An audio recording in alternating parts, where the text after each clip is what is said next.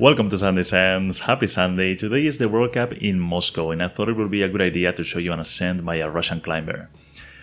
So far, I think in the Sunday Sends we've seen uh, four Russian guys in action, so today we're gonna see a Russian woman. The climber is Olga Iakovleva, and she's not competing anymore, but a few years ago she was pretty close to becoming world champion.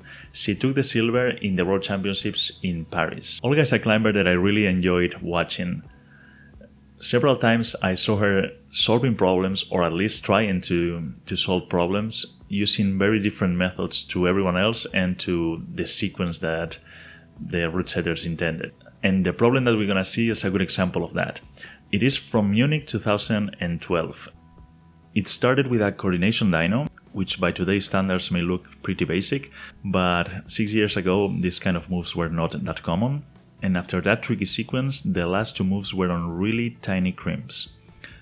Olga tried the dyno a few times and then she decided, okay, this is not for me. I'm gonna top this problem my own way. She ended up needing six tries. Let's see how she did it. die Vera aus dem fernen Norden von Deutschland, aus Holland.